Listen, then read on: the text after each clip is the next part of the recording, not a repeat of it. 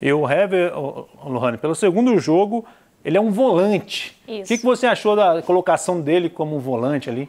É interessante também pela proteção que ele vai dar ao Natan porque a gente já consegue notar, inclusive, o Natan bem mais seguro. É, nessas do, é, na, na, rodada passada, o Natan estava suspenso. Hoje, ele jogou ali à frente do Hever, né? E a gente conseguiu ver um bom desempenho do Natan também com essa proximidade do Hever por ali. Um cara extremamente experiente que chega naquele setor ali para colaborar, né? Uma vez que o, o, técnico Wagner Mancini herdou um problema que era também do Rodrigo Santana com os volantes, né? O Jair tá está fora de combate por um tempo. Então, eu já consigo ver é, o Hever indo bem por ali. E o que me chama a atenção é essa proteção ao Natan, que é, possibilita o Natan né, a, a, avançar também em determinados momentos. E o Natan que vem fazendo essa, esse coringa aí de, de jogar ali naquela posição mais recuado, que não é tanto a dele, mas também está mandando bem por ali. E para você, Paulo, botar o Hever ali, é um jogador versátil ou é falta de opção no elenco? É falta de opção. É,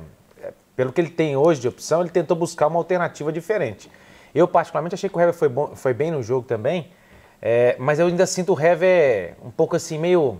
ainda fora de posição, assim, ainda se situando é, no campo. Hoje foi bem melhor do que na quarta-feira, né? Hoje ele foi bem melhor, é, mas acho que até os melhores do Atlético foram Natan e Otero, que fizeram um jogo gigante, assim. O Natan chegando em todas as bolas, fazendo a cobertura, e o Otero foi ofensivamente e defensivamente gigantesco no jogo. Então, assim, acho que os dois melhores hoje foram o Natan e o Otero, mas o Hever fez um bom jogo.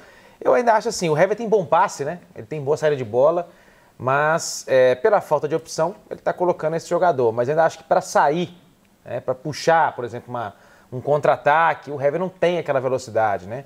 Como zagueiro, para mim, ele é um excepcional zagueiro. Acho que voltou até melhor para o Atlético, né?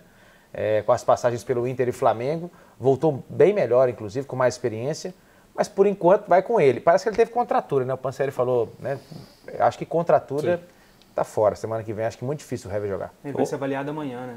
É. Quanto a isso. E eu acho assim, é, emendando essa questão do, do Hever, é, é, é, meio estranho um pouco a gente ver o Hever ali próximo da área, é um zagueiro, tá como um cara para dar uma, uma enfiada de bola ali. Acho que deu certo porque ele fez o gol contra o CSA e hoje também jogou bem, deu passe. Então, é, eu acho que foi porque funcionou com assistência e gol, mas é meio temerário tê-lo ali nessa, nessa posição, porque não é, não é a dele, né? Não é um zagueiro que vai estar lá dentro da área atacando. Então isso que acho que. É porque o Hever é lento.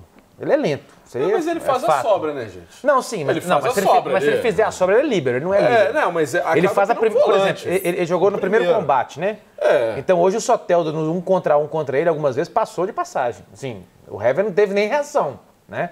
Mas ele foi bem no jogo, ele, foi, ele se posicionou bem, né? Ao lado do Natan. Mas eu também acho que é, é, circunstancial. No momento não tem outro, ele conhece o Hever, deve ter conhece, é, conversado com ele nos bastidores e situou o jogador lá.